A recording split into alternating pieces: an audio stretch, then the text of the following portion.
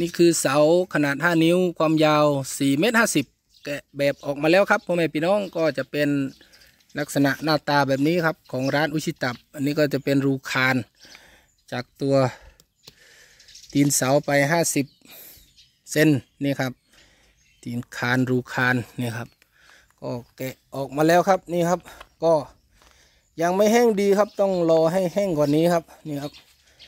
แบรนด์ของอุชิตับครับ AST นะครับแม่พี่น้องมีหนึ่งเดียวในประเทศไทยในโลกครับแบรนด์นี้ครับ AST นี่ลักษณะแบบนี้ครับแม่พี่น้องนี่ครับ ก็แกะออกมาแล้วนี่ครับ โยกแบบมาอยู่ทางนี้นี่ครับ ก็ตอนนี้ทางคนที่สั่งก็สั่งเพิ่มครับก่อนหน้านี้อุชิตับได้เอาไปส่งแล้ว หกต้น อันนี้ก็สั่งเป็นต้นที่เจ็ดนะครับ เอาไปต่อเติมบ้าน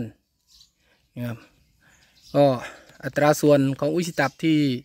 ผสมเสาลูกนี้ก็ปูนเจ็ดไม่ใช่ปูนเจ็ดครับทรายเจ็ดหินสิบนี่ครับแล้วก็ปูนหนึ่งลูกนี่ครับปูนหนึ่งลูกปูนหนึ่งลูกเลยครับพ่อแม่พี่น้อง ส่วนทรายก็อุชิตับเอ่อใส่เป็นกระแป้งเนาะทรายกับนี่ครับทรายกับ หินนี่ครับกระแป้งนี่พี่น้องโอ้เหนื่อยพอดีไปแกะแบบมา หายใจยังไม่ทั่วท้องเลยนี่ครับเสร็จสับเรียบร้อยก็รอแห้งเลยนำไปส่งทางคนที่สั่งนี่ครับก็ในละแวกใกล้เคียงใครสนใจก็ สั่งเสาร้านอุชิตับได้ครับ เน้นเหล็กมีคุณภาพครับอ่าเหล็กมีคุณภาพแล้วก็ววิธีการผลิตอ่าที่มีคุณภาพนี่ครับส่วนเหล็กตัวนี้ผมใช้เหล็ก RB9 SR 24ของทาทาทิสคอนครับ เป็นเหล็กเต็มครับนี่ครับอ่าเหล็กที่หน่วยงานของรัฐหน่วยงานอาของรัฐ แล้วก็หน่วยงานรัฐวิสาหกิจเขาเลือกใช้ครับนี่ครับนี่ครับ ปลอกผมก็ใช้ปลอกใหญ่ครับ เป็นปลอกขนาดหกมิล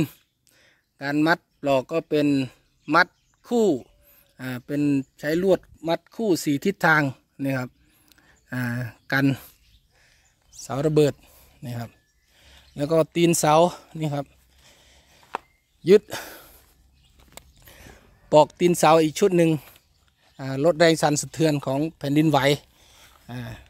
และก็สามารถรับน้ำหนักโครงสร้างได้ดีขึ้นกว่าเดิมนี่ครับโอเคครับเดี๋ยวอุชตับขออนุญาตลาทุกคนไปก่อน เจอกันใหม่คลิปหน้าครับนี่ขอลาไปก่อนสวัสดีครับ